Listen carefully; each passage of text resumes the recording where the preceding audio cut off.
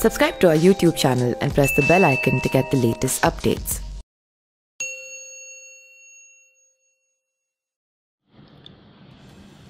तीन साल बाद एक बार फिर मीडिया में भारत के मोस्ट वांटेड दाऊद इब्राहिम के मरने की अटकलें चरम पर है। सोर्स के हवाले से रिपोर्ट्स में दावा किया जा रहा है कि कोरोना संक्रमित होने के बाद दाऊद और उसकी पत्नी महजबीन उर्फ़ जुबीना जरीन को कराची मिलिट्री हॉस्पिटल में भर्ती कराया गया था और वहीं उसकी मौत हो गई। इस तथाकथित रिपोर्ट की कहीं से पुष्टि नहीं हुई है और होने की उम्मीद भी कम है। वैसे दाऊद के छोटे भाई अनीश ने शुक्रवार को दाऊद के संक्रमित होने की मीडिया रिपोर्ट्स को खारिज कर दिया था।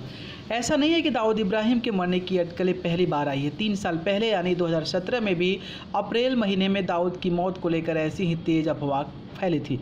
खबरें फैली थी कि दिल का दौरा पड़ने के बाद दाऊद की मौत हो गई। हालाँकि मुंबई पुलिस और बाद में दाऊद के भाई छोटा, शकील ने इन अटकलों को खारिज कर दिया था। जब दाऊद को हार्ट अटैक आने और मौत की रिपोर्ट्स आ रही थी, ठीक उसी दौरान वह उन्नीस अप्रैल 2017 को जावेद मियादंद के घर एक पार्टी में दिखे थे।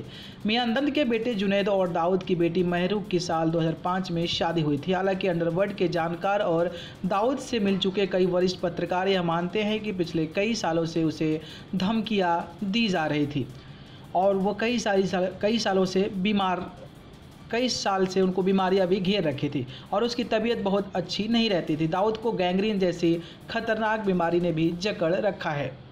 दाऊद मार्च उन्नीस सौ तिरानवे में हुई बम ब्लास्ट का मास्टरमाइंड है। भारत छोड़ने के बाद उसने पहली खाड़ी देशों में और उसके बाद पाकिस्तान में जाकर पनाह ली। दाऊद इब्राहिम का जन्म 27 दिसंबर 1955 को महाराष्ट्र के रत्नगिरी में हुआ था और उसके पिता शेख इब्राहिम अली काजकर मुंबई पुलिस में हवलदार थे। दाऊद के गैंगस्टर बनने की शुरुआती हाजी मस्तान के साथ जुड़ने और डांगरी गैंगवार से हुई है।